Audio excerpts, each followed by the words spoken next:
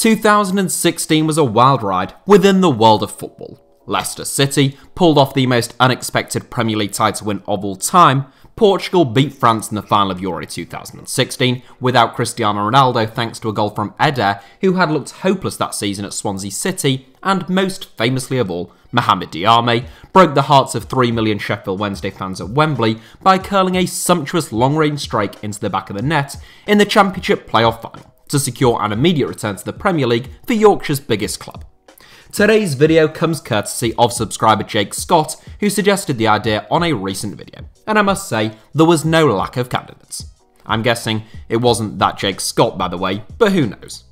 I have decided not to feature anyone aged 35 or above, since their disappearances are likely a little less interesting, given they're most likely just a consequence of age and possibly retirement and I've tried to include a whole range of players with a raft of different reasons for their disappearances. You know, just to try and keep things interesting. Since there were so many candidates, I'm rather hoping this video does well enough for me to be able to make a part 2, so I won't include any honourable mentions just in case. By the same token, the opposite could also be quite interesting, something along the lines of the most improved players also since 2016.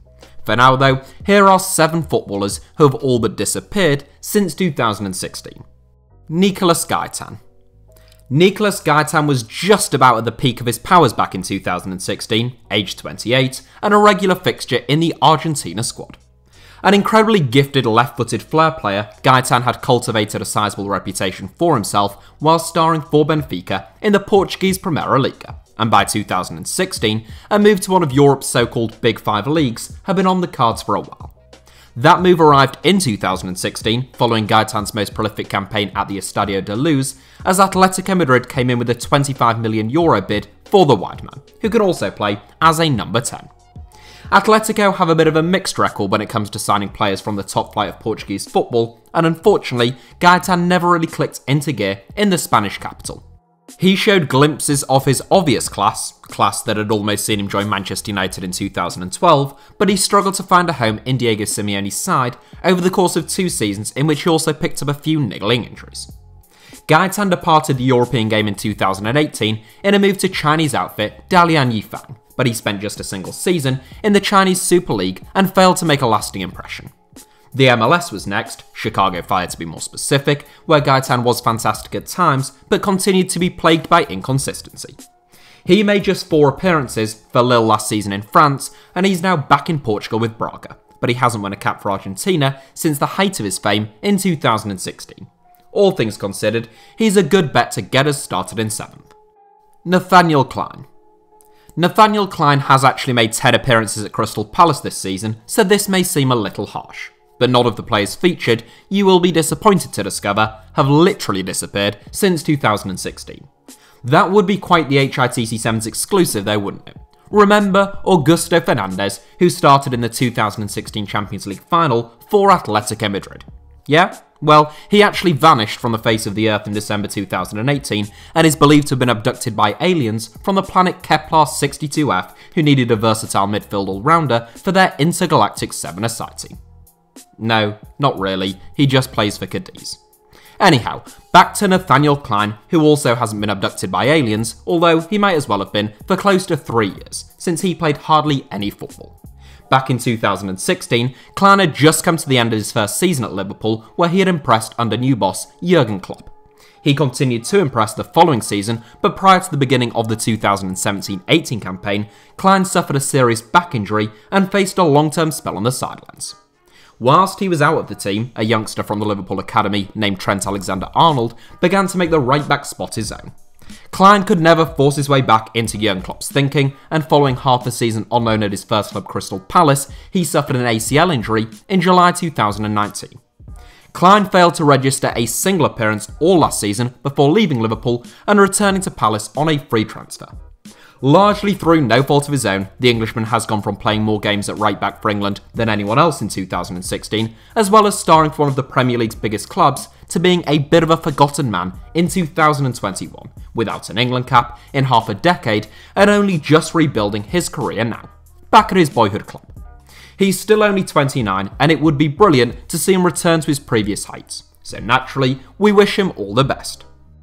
Oscar There are a number of players who have headed east to the Middle Kingdom since 2016, and I didn't want to include a whole load of Chinese Super League imports, even if many of them have effectively disappeared from mainstream footballing consciousness in the pursuit of raising the profile of the sport in the Far East. Or money, I'll let you decide. Oscar is one such example that does feature though, and he remains quite possibly the most high profile example. If anything, I actually think that Oscar was quite underrated during his time in the Premier League and people tend to forget just how young he was when he arrived at Stamford Bridge. In his debut campaign, aged only 21, Oscar made a quite remarkable 64 appearances and scored 12 goals as the Blues won the Europa League.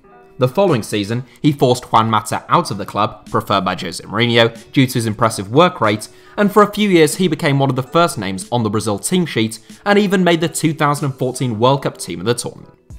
There isn't a great deal to say about Oscar's reputational demise, other than the fact that he joined Shanghai SIPG in January 2017. The move supposedly made Oscar one of the best paid players on the planet, and he said he was securing his family's future. That's obviously up to him, but nonetheless, it is a shame that he departed essentially competitive football at such a young age, aged 25 at the time, and he hasn't won a single cap for Brazil since, now aged 29. Max Meyer. The second player in this 7 with a link to Crystal Palace, whilst Nathaniel Clyne's decline has seen him return to Selhurst Park, it was during Max Meyer's time in South London that his footballing fortunes really took a turn for the worse. A hugely promising talent in both Schalke and Germany's youth ranks, Meyer represented Germany at every level, from the under 15s through to the senior team, winning his first full cap whilst he was still only 19. Rewind to 2016, and Meyer was in many respects the star man for a Schalke side that finished 5th in the Bundesliga and reached the knockout stages of the Europa League. Renowned for his impressive close control, elegance on the ball, and intelligence in the pass, Meyer was said to have been a top target for Barcelona from 2014 through to 2016. Meanwhile, Liverpool, Sevilla, and AC Milan were all linked to him as well. In truth, Meyer probably peaked in the 2015 16 season, and it has been downhill for the German ever since in many respects. In 2018, he took the decision to wind down his contract with Schalke and leave the club on a free, reportedly having been advised by his agent that doing so would help facilitate a move to a top club. That strategy backfired, with all due respect to Crystal Palace, although Meyer did still sign a very lucrative deal with the Eagles. Across his two and a half scenes at Selhurst Park, Meyer was incredibly underwhelming. Following a deeply forgettable stint in English football, now aged 25, Meyer joined relegation threatened Bundesliga outfit Cologne a week or so ago, free of charge. Jonathan Biabiany.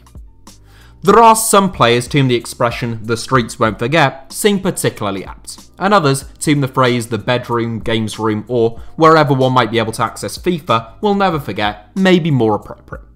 That is true of Jonathan Biabiany as much as almost anyone else, given his blistering pace on a couple of versions of the video game in which pace was by far the most important attribute. Over a period of 8 years, from FIFA 2012 through to FIFA 19, Biabiany's pace never dipped below 94. He played his best football in real life for Parma, particularly in the 2013-14 season and his career was dealt a pretty devastating blow at the end of that season when he was diagnosed with an irregular heartbeat. The diagnosis saw Biabiany sidelined for 12 months and saw his transfer to AC Milan collapse. Soon after, when Parma were declared bankrupt, Biabiany terminated his contract and signed for Inter Milan instead, and he made 24 appearances for the Nerazzurri as they qualified for the Champions League in the 2015-16 campaign. Fast forward four and a half years, and Biabiany has suffered a pretty severe decline. He went on loan to Sparta Prague in 2017-18, followed by a return to Parma in 2018-19 before joining Serie C side Trapani. The Frenchman was on the move once again last summer, joining Spanish Segunda Division B outfit San Fernando. San Fernando are based in Cadiz, which is where Augusto Fernandez also plays, having not been abducted by aliens. I just want to re-emphasize that point. Adam Johnson. Well, I said I wanted to include a wide range of reasons as to why certain players have fallen off the face of the map since 2016, and Adam Johnson didn't suffer a nasty injury setback, nor did he make a lucrative move to the Chinese Super League. Johnson's demise came about as a consequence of him grooming and engaging in sexual activity with a 15 year old girl, at a time when he was 27 years old. Johnson began engaging with the girl, who was a Sunderland fan, via social media, though they later met up twice, a court heard in February 2016. At the 16 day trial, Johnson was found guilty on one count of sexual activity with a child and one count of grooming by a majority verdict of 10 to 2, and he was sentenced to six years in prison. Prior to his sentencing, Johnson had made 375 appearances within the English game, the majority of which came in the Premier League. Capped 12 times by England, the former Manchester City man was a regular at Sunderland prior to his crimes, but no club has touched him since his release. Johnson, who effectively retired in 2016, aged 28, served half his sentence and has kept relatively under the radar since leaving HMP Moorland, now aged 33. I am aware that Johnson is seen as a subject fit for many a joke within the world of football, and particularly online, and far be it from me to censor comedy. But I think it is always worth remembering that what he did is abhorrent. To use a position of power to groom a child almost half his age, who will likely be impacted by those events long term, is a shameful act, and I think it's worth re emphasising that point. Jackson Martinez. The second inclusion in this seven who played his best football in Portugal, Jackson Martinez scored 94 goals in 143 games for Porto, including 34 goals in just 49 appearances during his final season, making him one of the highest scorers within the European game that term. You could quite legitimately make the case that Martinez's decline began in 2015 following a big money move to Atletico Madrid, but it was in 2016 that the Colombian's career really fell apart. Martinez struggled to make much of an impact in La Liga, but after just six months in Madrid, Atletico were able to turn a profit on the struggling marksman in a move to China. Martinez made a blistering start to life at his new club, Guangzhou Evergrande, in 2016 before suffering an ankle injury that would prove to be the beginning of the end for the former Independiente Medellin star. Martinez suffered two injuries to his ankle in quick succession, followed by a third, truly devastating setback to the injured part, one which would rule him out for the next two years. Those types of injuries are incredibly difficult to recover from, and so it proved. Martinez returned to Portugal once he had been cleared by medical staff to return to the sport, joining Porto Portimonense. But after just a couple of seasons back, he was forced to call it quits in December just gone, with his recurring ankle injuries proving to be too restrictive and too painful for him to carry on. So that is it for today's video, but thank you all as ever for watching, thank you to Jake Scott for the suggestion, give us a like if you enjoyed the video, let me know your thoughts down below in the comments, and make sure to hit subscribe and turn on notifications for HITC7s. You can also find me on Twitter or Instagram by the username at HITC7s should you wish to do so.